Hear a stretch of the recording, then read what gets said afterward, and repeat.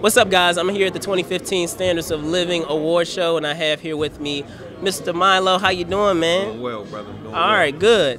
Um, so, can you talk a bit of what the experience has been like thus far here at this award show? You know, all the you know guests that, that have been here. Uh, it's been a tremendous experience thus far. Uh, my first year attending, and uh, definitely a first class, uh, you know, event. And so I'm very, very proud to be here and uh, humbled to be in the attendance. All right, cool. Well, now I understand that you you know you do uh, you make ties as we can see here, um, but I understand that it's you you you, have, you put a unique spin on it. Like you make it from uh, from uh, other ties. So can you talk a bit about that and and uh, your organization? Yes. Uh, so you know, I'm an avid tie lover. Uh, so I have a collection of over 200 ties, and uh, just trying to look for different ways to use them, and you know, not in just a traditional sense. So I found a way to you know convert it into a bow tie.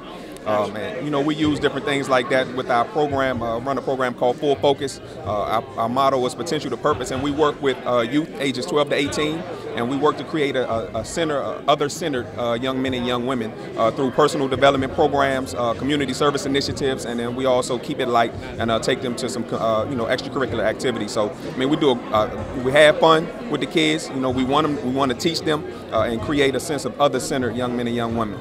All right, cool. That is awesome, man. So, can you talk a bit about you know some of those those? Can you uh, go into you know more detail about some of those events that you do offer for for the youth? Yes. Um, okay. Uh, our five focus areas are character development, life skills, continuing education, career discovery, and community involvement. Everything that we do centers around one of those focus areas. Mm. So, if we do a personal development workshop, we're going to touch on uh, you know some sort of character uh, enrichment. Um, and for, for an example, um, you know, personal standards of character uh, was one of our, our key uh, components that we did for a personal development workshop. And, uh, you know, we get out and we're avid uh, community service um, goers, uh, whether it be a, park cleanup or we go out and we visit, uh, you know, um, homes you know, group homes or things like that, and just get the kids out and, and, let them know that it's not just about them, and, we really want them to learn about that and, and start to walk and, and live in their purpose for life.